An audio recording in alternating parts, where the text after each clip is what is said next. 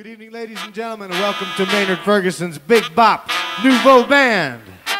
But now, please put your hands together for Intima recording artist, trumpet great, Maynard Ferguson!